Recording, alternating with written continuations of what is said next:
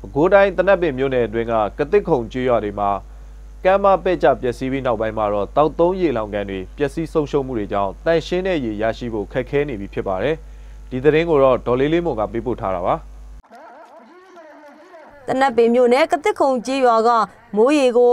ကန်နဲ့ရေလောင်တာကလွဲပြီးစက်ရည်ရင်းတူးမရတဲ့ရေငန်ထွက်တဲ့နေရာဖြစ်ပါတယ် စစ်တောင်းမြေရေဒီရေကပြီးခဲ့တဲ့3လကစပြီးအတက်အကျကျန်းလာပြီးကမ်းမပြိုကျမှုကြောင့်လယ်မြေတွေနဲ့တောက်သုံးရေကန်ပျက်စီးခဲ့ပါတယ်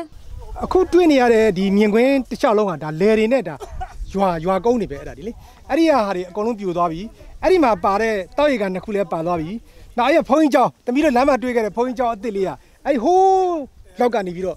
ပြိုလို့နောက်ဆွေလာတာအခုဒီဒီနားမှာအဆွဲလေးကလည်းဒါတောက်ရီကန်ပဲဒါဒါအခုတရက်နေ့ဆိုဒီတောက်ရီကန်ပါသွားတော့မှာပေါ့ အခုဇန်နဝါရီလထဲမှာတော့ကတစ်ခုံကြီးရွာမှာရှိတဲ့တောက်သုံးရေကန်တစ်ခုပျက်စီးသွားခဲ့ပြီးဖုန်ကြီးကျောင်းအတွင်းကတောက်သုံးရေကန်ကတော့ရေခမ်းချောက်ပြီးတောက်သုံးရေဖြစ်အသုံးပြုဖို့တန်ရှင်းမှုမရှိဘဲဖြစ်နေပါတယ်။ဒါပေမဲ့လက်ရှိအထိရေကြောင့်ဖြစ်တဲ့ယောဂဖြစ်ပွားမှုတော့မရှိသေးပါဘူးအိုးလေးတွေကိုထည့်ပြီးတော့ဒီကအိုးလေးတွေပြက်ခတ်ရောဒီတော့ညသိမ့်ထည့်ရတာပေါ့ညသိမ့်ထည့်အာ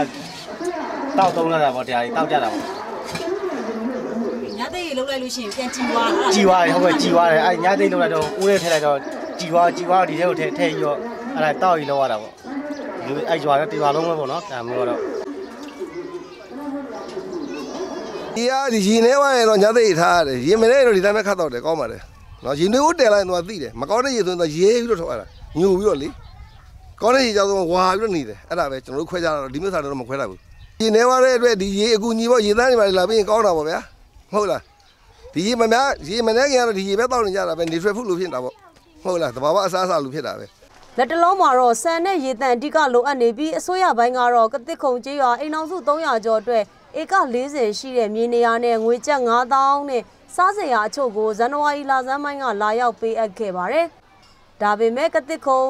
ကျေးရွာပြည်သူတွေအတွက်နေရာပြန်လည်ချထားဖို့နှိကွေးနေတာတွေကိုအမြန်လှုပ်ဆောင်ပေးဖို့ပညာရှင်တွေရွာနေပြည်သူတွေတိုင်ပင်ပြီးကမ်းမပြိုကျမှုဒဏ်ကြောင့်အမြန်ပြောင်းရွှေ့စရာမလိုတဲ့နေရာတွေရရှိဖို့တွေလိုအပ်နေတာပါ။ သူတို့ကငားရှာမယ်ဆိုရင်ဥပမာပိုက်လိုဟာမျိုးကစပေါ့နော်လုတ်ပြရမှာပေါ့သူတို့ကဟာလာလဲပြန်လုတ်ချင်တယ်ဆိုဘယ်မှာသူတို့နေရာပြန်ချထားပြီးရင်ရမလဲသူကလဲတော့ရှိတယ်နွားမရှိတော့ဘူးကျွဲမရှိတော့ဘူးဆက်မရှိတော့ဘူးဆိုသူတို့ငွေချီးပေးရမလားဒါမှမဟုတ်တဘာဝဘေးအနေနဲ့ကာကွယ်ရေးဖွဲ့ရနေပြီးတော့ကုညီပံ့ပိုးမှုတွေပေါ့သူတို့လုတ်ကင်စားတော့နေအောင်သူတို့ချီတော့ပေါ့သူတို့ရက်တင်နေအောင်ဆိုလို့ရှိရင်သူတို့နဲ့အပြန်လာဆွေးနွေးဖို့ပို့ပြီးတော့လိုအပ်တယ်ကတစ်ခုံရွာဟာပဲခူးတနက်ပင်ကနေ23မိုင်အကွာမှာရှိနေပြီး အိမ်အောင်စု300ကျော်နဲ့လူဦးရေ1900ကျော်နေထိုင်တဲ့ရွာလည်းဖြစ်ပါတယ်စစ်တောင်းမြေတိုက်စားတာကြောင့်ကတစ်ခုံကျေးရွာတွေနဲ့အနီးတစ်ဝိုက်ကရွာတွေနေမြေတွေပျက်စီးဆုံးရှုံးမှုတွေလည်းရှိနေပါတယ်ကျမလေးလေးမုံမောင်